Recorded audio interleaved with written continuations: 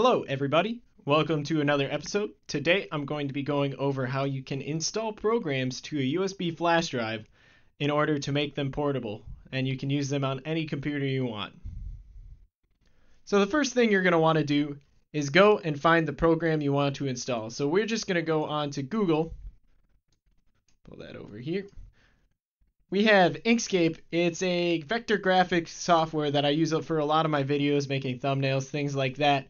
And we're actually going to download this onto our disk drive so we can take it anywhere. So we're going to go into our Windows.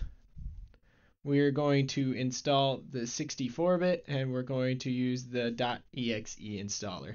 We're just going to get that downloaded. And it's going to take a minute or two, so we're going to pause the video and I'll be right back once it's ready.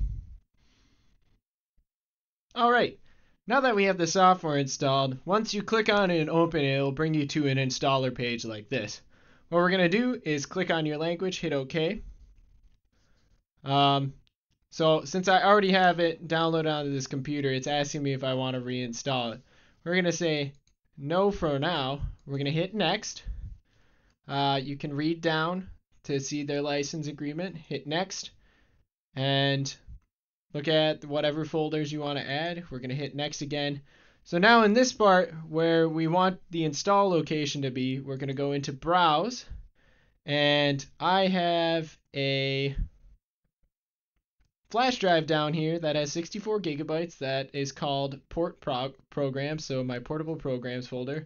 We're going to click on that and that's where we're going to actually install this. So it's going to be in our E drive and you're going to hit install. We're going to wait for it to install, so I'm going to pause the video again and skip forward once it's done installing. Alright, now that the program is completed installing, we're going to uncheck this mark because I kind of want to show you the point of running it from a USB. We're going to hit finish. We're going to go into our file folders, pull that up over here. In our files, we're going to go into that portable programs disk. We're going to open our Inkscape folder. We're going to go down to our applications, our Inkscape application. We're going to get open. Give it a little bit.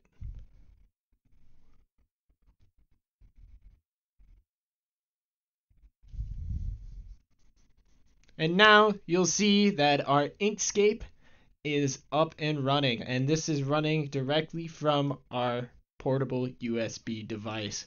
So some other things you can do with this, um, I know a lot of Steam games can be run from USB devices such as this.